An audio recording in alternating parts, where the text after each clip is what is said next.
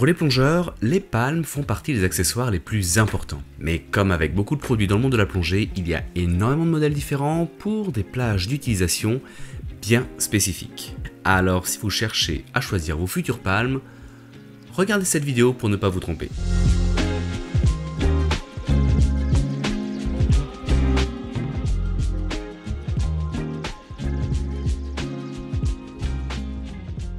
Ceci est une vidéo conseil en matériel et l'on va tâcher de comprendre pourquoi il y a autant de modèles de palmes et quel modèle peut convenir à votre programme. Le but de cette vidéo n'est pas de vous dire quel modèle acheter, mais plutôt de vous expliquer les différentes technologies et les contraintes de chaque famille de palmes. Et ça vous évitera de vous retrouver dans la situation de ces plongeurs pris dans un courant descendant en Asie. Ouais, le matériel peut faire la différence et allez voir cette vidéo si vous voulez savoir pourquoi. Oh, et une dernière chose, je ne parlerai pas des palmes d'apnée, car même si je sais que beaucoup d'entre vous les utilisent dans le cadre de la plongée récréative, en vrai c'est pas très pratique sur le terrain, surtout sur des bateaux comme euh, des semi-rigides. le seul intérêt que je trouve à ce genre de palme en plongée, c'est d'en avoir une plus longue que les avant de rentrer en détail dans les différentes technologies de palmes, il faut parler de la première grande différence. Certaines palmes nécessitent des bottillons, là où d'autres, dites chaussantes, s'enfilent comme des chaussures. Vous pouvez trouver en fonction des marques le même modèle de palme qui va se décliner. C'est par exemple le cas de Memares Quattro, que l'on va voir euh, un peu plus tard. La raison pour laquelle il y a cette variation, c'est pour le poids et pour le confort d'utilisation. Les palmes à bottillons s'utilisent avec des chaussures de plongée rigides des bottes ou des bottillons. On va glisser votre pied dans la palme et la connexion se fera avec un élastique ou bien un ressort métallique comme avec les miennes. Elles sont pratiques en eau froide car elles permettent de bien isoler votre pied. Mais pour moi, c'est surtout le confort de la marche qui fait la différence. Par exemple, à Bali, certains sites de plongée se font depuis la plage et il faut marcher longtemps sur des petits cailloux.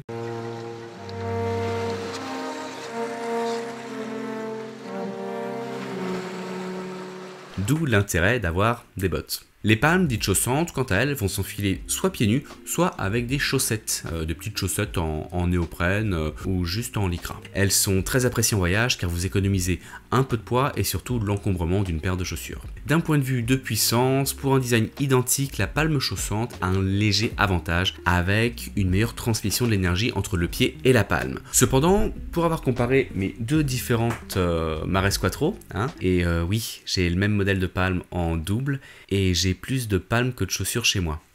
S'il vous plaît, dites-moi en commentaire que je suis pas le seul.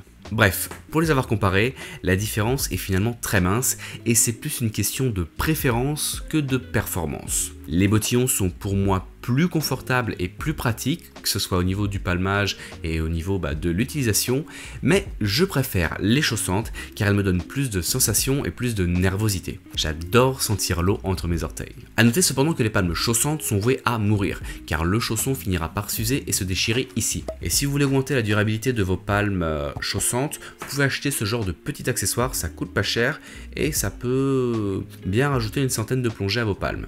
Enfin bon, avant qu'elles se déchirent, vous allez quand même pouvoir leur coller bien 500-600 plongées. Hein.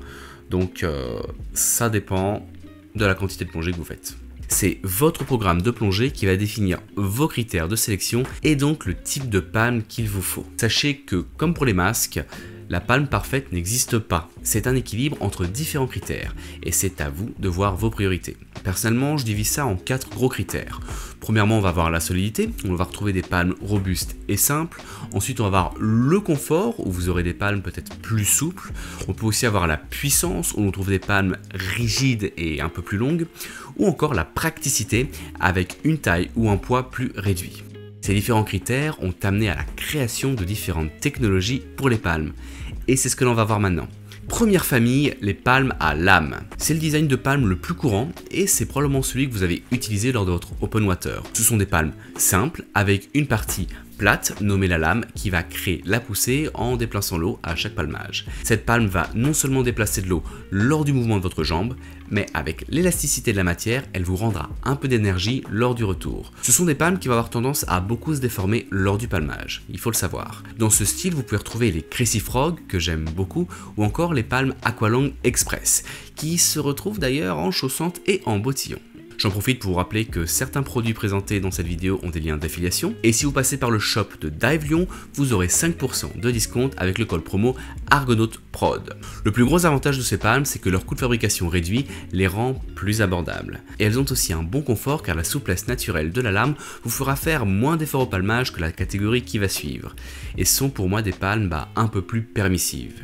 Je veux dire par là que même lorsque l'on n'a pas des grandes qualités de palmage, eh bien vous pourrez toujours exploiter vos palmes, à l'inverse des palmes plus techniques. L'inconvénient de ce type de palme est que la déformation de la matière va accentuer l'usure de la palme et à terme, euh, elle va gagner en élasticité et donc devenir moins rigide pour perdre un peu en puissance.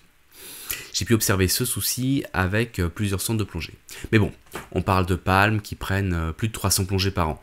Donc, à moins d'être un pro, vous avez de la marge. C'est selon moi un design très adapté pour le voyage, car elles sont légères, ou pour la plongée plus tranquille avec des palmes bien confortables. Donc c'est une excellente base pour des débutants sans se ruiner. La deuxième grosse famille, ce sont les palmes à canal ou bien grosse cuillère. Et oui, euh, grosse cuillère, c'est moi qui ai inventé le nom, et c'est ma vidéo, donc c'est moi qui décide du nom des familles. Arthur? Alors, qu'est-ce que j'appelle une palme à cuillère Ce système a fait la réputation de Mares avec l'Aquatro Power, hein, c'est celle-là.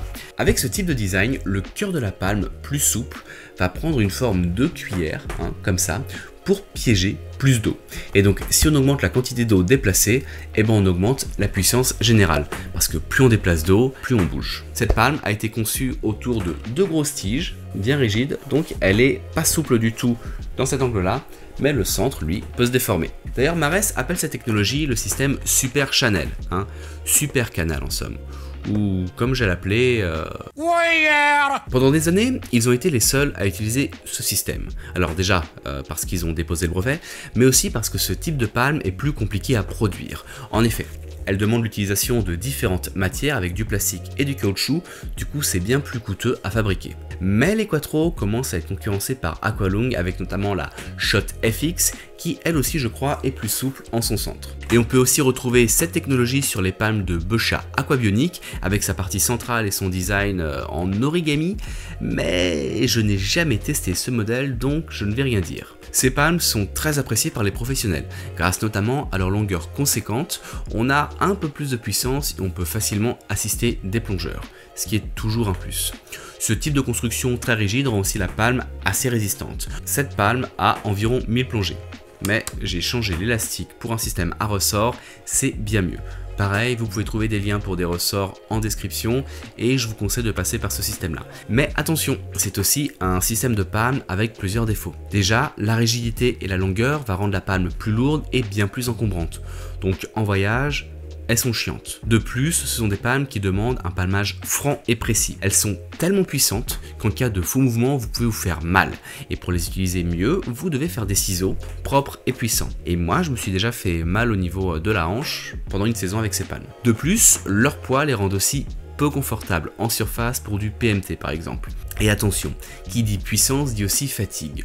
Donc en fonction de votre programme de plongée, ce type de palme peut vous causer des crampes euh, assez facilement. Donc pour résumer, ce sont des palmes parfaites pour des personnes recherchant de la puissance au palmage, soit pour aller dans du courant, soit pour encadrer et assister d'autres plongeurs. Vous pouvez parfaitement débuter avec ce genre de palme, mais je pense que ça vous demandera un peu plus de pratique pour bien les, les maîtriser. En tout cas, c'est la transition parfaite pour l'un des modèles de palmes les plus iconiques de la plongée.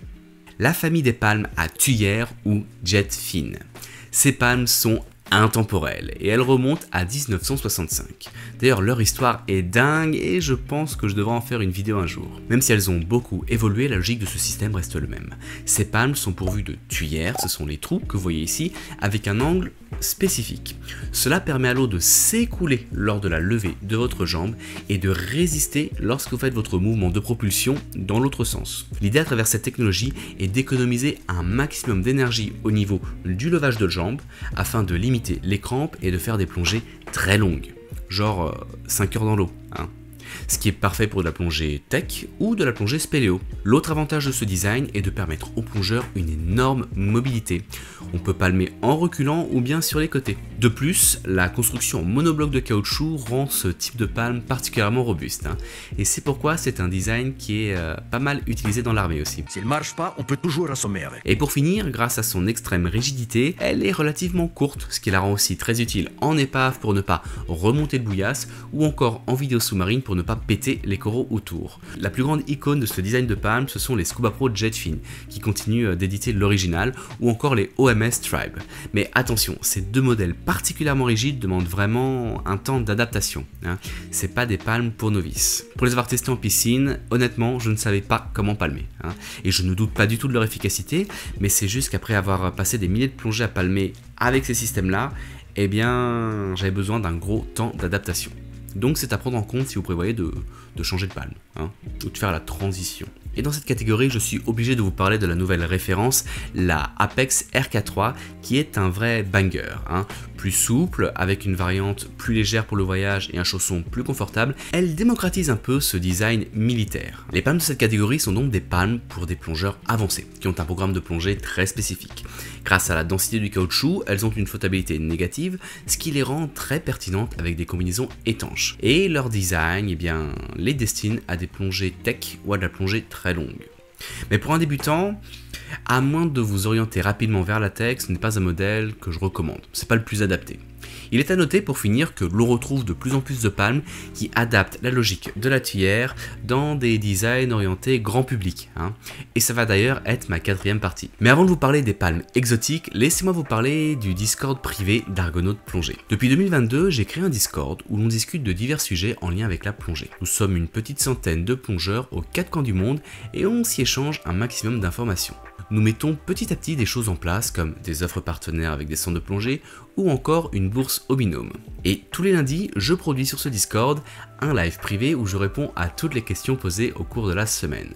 Et parfois, on reçoit même des invités. Mais le plus important, c'est que cet espace a la même philosophie que la chaîne YouTube, parler de plongée avec bienveillance. Alors, ce Discord est une des contreparties typiques que vous obtenez en devenant contributeur. Sachez qu'aujourd'hui la chaîne YouTube n'est pas rentable, et vu que nous sommes sur une petite niche, je ne peux pas me financer à travers le trafic de YouTube. Donc j'ai besoin de vous. Alors, si vous aimez le contenu que je vous produis et si vous voulez discuter plonger avec d'autres passionnés, venez nous rejoindre sur Discord. Les liens de mon Tipeee sont en description. Et maintenant, parlons de la quatrième famille de palmes, les palmes exotiques. Alors là, c'est le moment où je me fais pas que des amis parce que honnêtement, je sais pas quoi mettre dans cette catégorie. En fait, je vais mettre toutes les palmes avec des formes un peu particulières qui ont grosso modo le même objectif, c'est-à-dire d'être euh, confortables et faciles d'utilisation. Certaines de ces palmes vont avoir la lame déportée du chausson afin de faciliter le palmage. C'est notamment le cas de la Scuba Pro Nova, hein, qui offre aussi la possibilité de changer carrément de chausson pour passer sur des palmes à bottillon. Ce genre de logique est très pratique en voyage. Donc si on reprend mes critères d'origine, elle a tous les points en praticité. Mais évidemment, comme on l'a vu dans cette vidéo, elle ne pourra pas apporter les mêmes résultats euh, en termes de puissance par exemple si on la compare à une palme bah, qui va être bien plus longue et bien plus rigide. Et toujours dans la recherche de confort d'utilisation, eh bien certaines palmes sont même fendues au centre. hein. On appelle ça des, palmes fendues du coup, ou euh, split fin. L'idée à travers ce design, eh bien, c'est de rendre le palmage moins fatigant. Ouais, alors c'est sûr, si tu les coupes en deux, ça va aider. Donc si sur papier ça fatigue moins, je vous mets en garde. Donc pour un contexte d'eau froide avec beaucoup d'équipements, ou bien pour plonger dans du courant, vous allez faire du surplace. Enfin, c'est ce que je pensais avant d'avoir vu cette photo.